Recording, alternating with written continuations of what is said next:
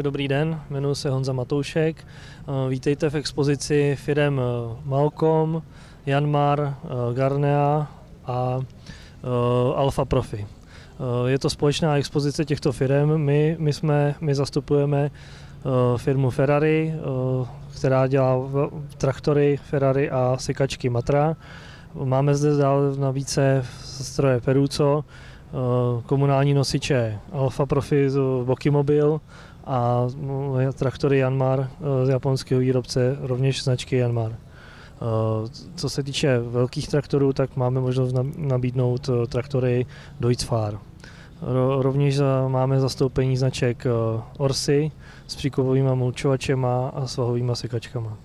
Představil bych vám rád sekačku Matra, což je vlajková loď, je to největší výkonná sekačka z celé řady výrobku Matra.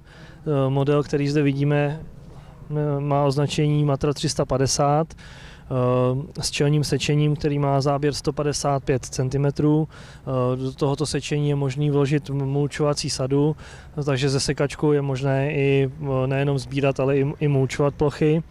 Má to nezávisle zapínaný ventilátor, takže když obsluha mulčuje, tak může právě vypnout ventilátor a používá jenom sekačku na sečení.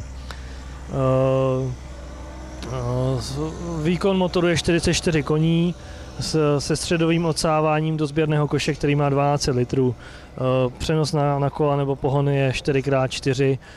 Koš má obsah 12 litrů s vyklápěním do 2 metrů 10. Je to de facto pro větší města obce a pro, pro firmy, které mají častější nasazení tohoto stroje na větší plochy.